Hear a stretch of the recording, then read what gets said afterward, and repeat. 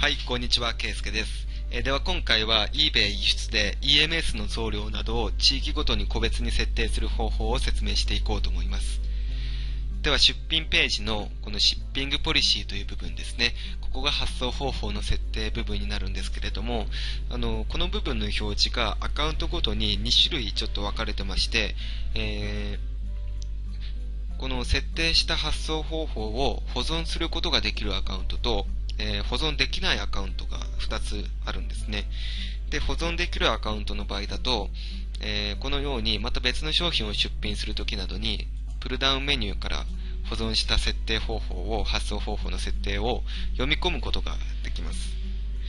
で、えー、どちらも基本的には、あの、設定の流れは変わりませんので、まあ、今回このアカウントの場合で説明していきます。はい。で、この場合だと、えー、まず新しく発送方法の設定作るときは Create Shipping Policy この部分をクリックしてください。はい。で、まず一番上のポリシーネームというのが今から設定する発送方法の名称になります。えー、ここには EMS。で、その後に重量などを入れておくと、えー、また次回このデータを読み込むときに分かりやすいかと思いますので、えー、ちなみに今回出品する商品がこちらの CD コンポになります。えー、こちらのコンポの発送重量 4.6kg なので、ここに 5kg と入力しておきます。えー、そうするとまた次回 4.5kg から 5kg までの商品を出品するときにデータ読み込むときに分かりやすいかと思いますので、はい。ではまず、ドメスティックシッピング。こちらがアメリカへの送料の設定ですね。えー、ではまずサービスのところは EMS の場合、スタンダードシッピングフロームアウトサイド US を選択してください。で、コストが送料ですね。4.6 k g なので 5kg までの送料がアメリカの送料8200円なので82ドルと入力します。えー、僕はもうあの1ドル100円と計算しています。えー今のペーパルのレートは1ドル107円ぐらいになるんですけれども、あのー、それで計算しているとちょっと時間かかりますし、あのー、まあ、1ドル100円で計算しておけばマイナスになることはないので僕はそういった形で計算しています。はい。8200円ですので、もう82ドルですね。わかりやすく入力して、えー、ハンドリングタイムは、えバイヤーが支払いをしてあなたが商品を発送するまでの日数ですね。えこちらご都合に合わせて選択していただいて、で、インターナショナルシッピングがアメリカ以外の国への、え送料の設定ですね。はい、ここ、フラットセームコストトゥーオールバイヤーズを選択していただいて、はい、えー、では続いて、このシップトゥというところは、チューズカスタムロケーションを選択します。ではその右のサービスが同じようにスタンダードシッピングですね。えー、ではこの下の地域のところなんですが、えー、まずヨーロッパから設定していきますので、ヨーロッパ、イギリス、ドイツ、フランス、あとロシアも送料に関してはヨーロッパに含まれるので、ロシアにチェックをしていただいて、で、ヨーロッパまでの5キロの料金が9400円なので94ドルと入力します。ではこのオファーアディショナルサービスをクリックして項目を追加します。同じように Choose Custom Location でスタンダードシッピングですね。はい。では続いて北米を設定します。カナダ、メキシコ、オーストラリア。はい。えー、北米に関してはアメリカと料金同じなので82ドルですね。はい。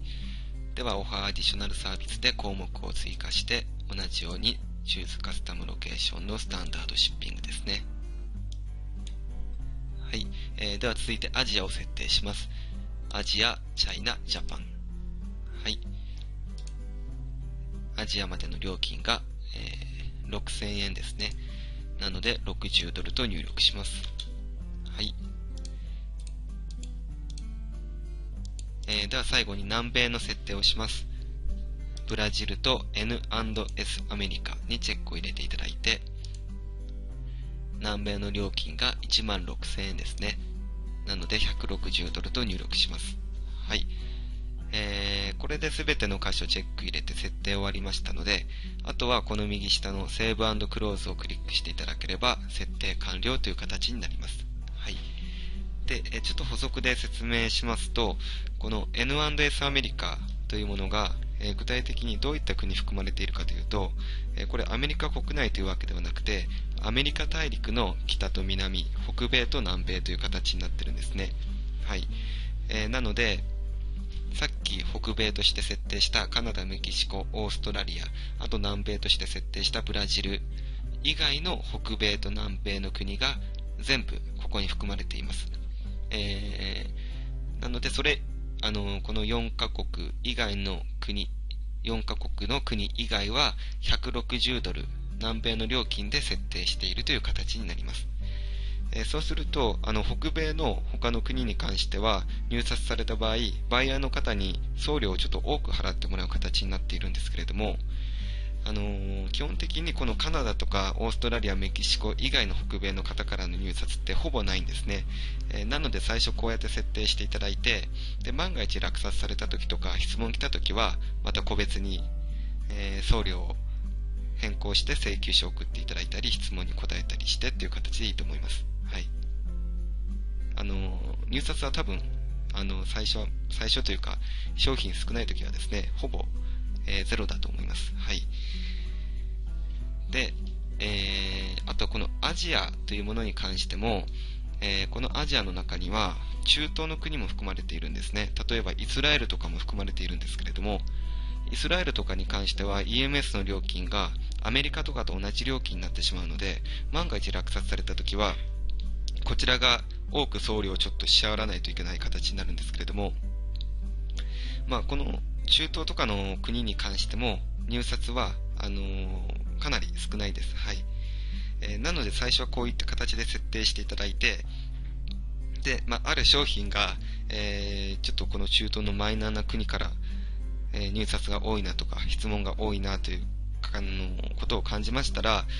その時にまた、え送料個別に設定していただいたりですね、まあ、出品ページに、えその国への発送料金を個別に記載していただくという形でいいかと思います。はい。えー、とりあえず最初はこういった形で設定して出品して、ちょっと様子を見るという形にしてください。はい。そうですね。はい。えー、では、今回送料の個別設定に関しては以上となります。では、今回も見ていただきありがとうございました。